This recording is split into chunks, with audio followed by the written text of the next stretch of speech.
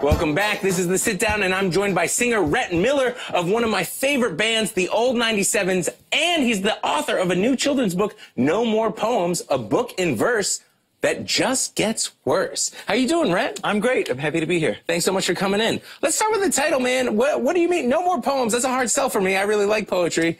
No more poems, a book in verse that just gets worse. Um, I found out a lot of things after the fact with this book. Like, first of all, in the children's literature world, poem is like the bottom of the barrel. Like, nobody wants poetry. They put you off in a whole different section.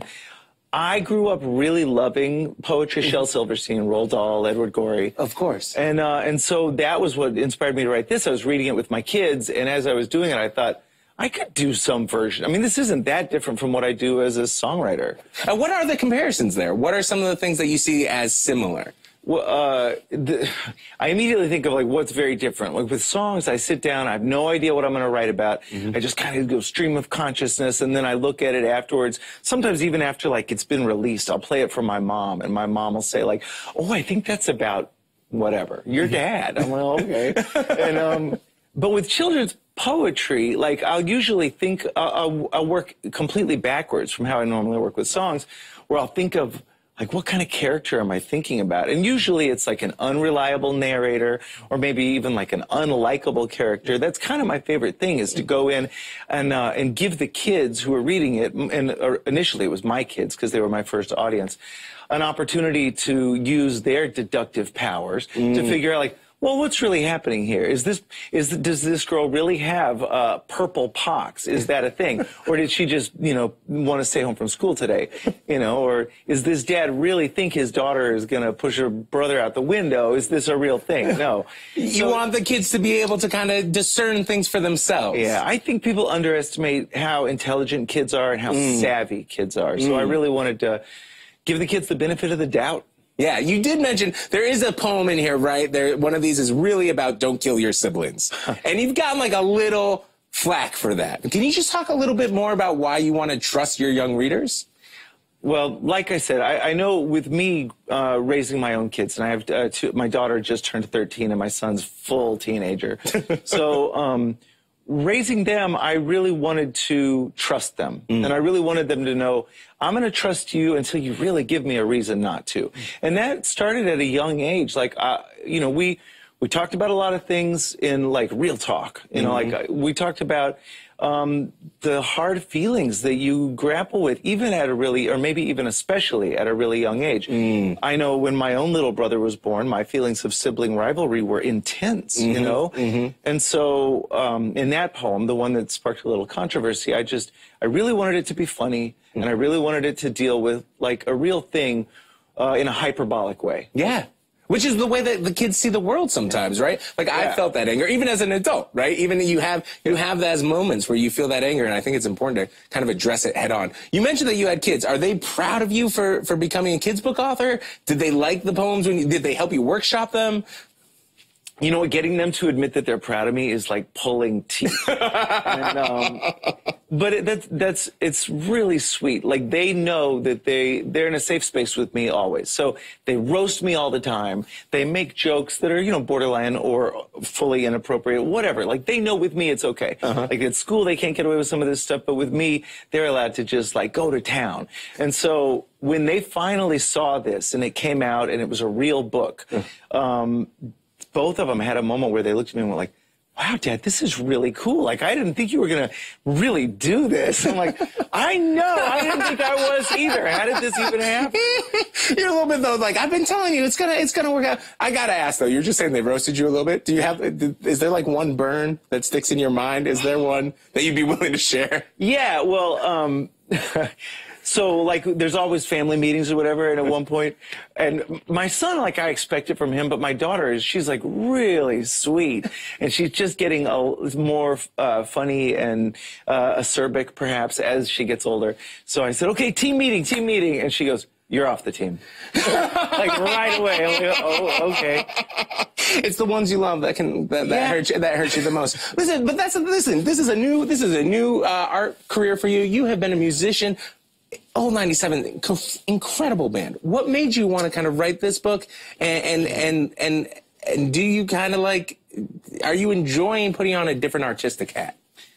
Well, I've I'm now 48 years old, which I don't know how that happened. My, I also don't. I want to ask you about your skincare real quick too. Let's get it. You answer this question first. Um, but my, uh, you know, so my band started when I was 23. I've been living in nightclubs that smell like you know barely mopped up beer my whole life, like gross dressing rooms. Um, so now that I'm a dad and my kids are like, they really start to pay off. Like when they're little, it's a lot of work and it's a lot of like, you know, things that are easy to complain about. And when they get older, it's true, bigger kids, bigger problems, but it's also, the payoff is so much bigger. Like they are mm. people now and we have these really sweet, heavy conversations.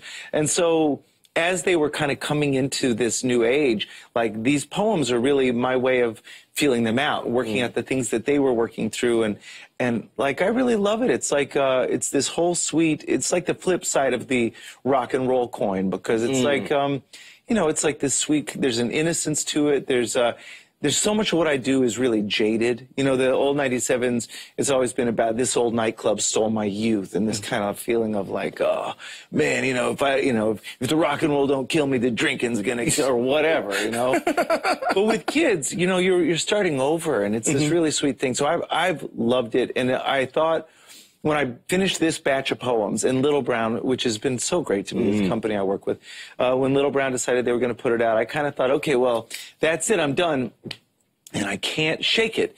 So I've written another book. I've written all the more poem. I just I think it's something that is now going to be a part of my life forever. It's, it's, really sparked something in you, which is awesome. I understand you've got a kid's book. You're all right. Don't try to flip this around. don't try to flip this around because I do want to ask you, man. Skincare for real. What do you What do you do? How are you keeping it sharp? I do nothing. Really? And I honestly, I I believe that maybe that's a good thing. I think the the less you mess with stuff, just the better. Like I don't like wash my hair a couple of times a week. Uh, I, I don't put soap on my face. I just put water on it.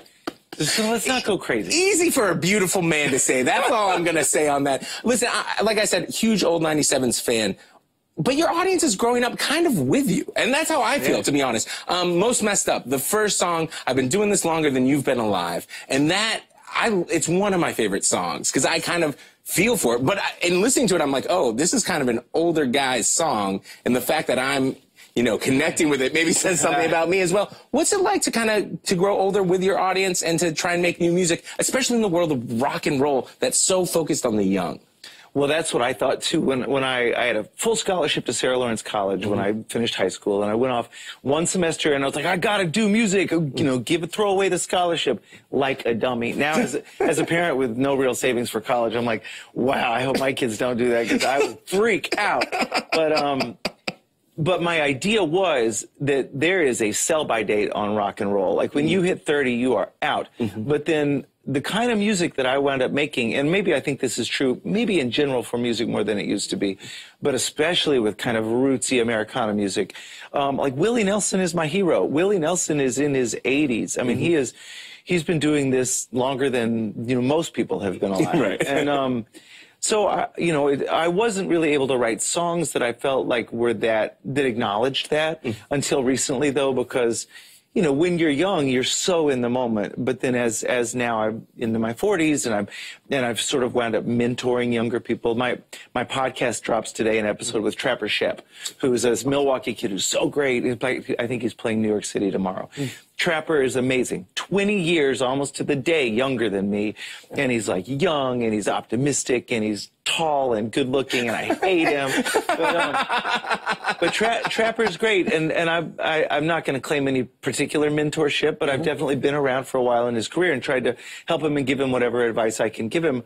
But um, I know for me, like I have a perspective on what I do and what I've been doing now for 35 years that um, that I wasn't able to acknowledge as a songwriter until recently, and now it's fun. Now I can be like, oh yeah, I can write songs that you know they'll go out in the world and like kind of give people advice, and in a way.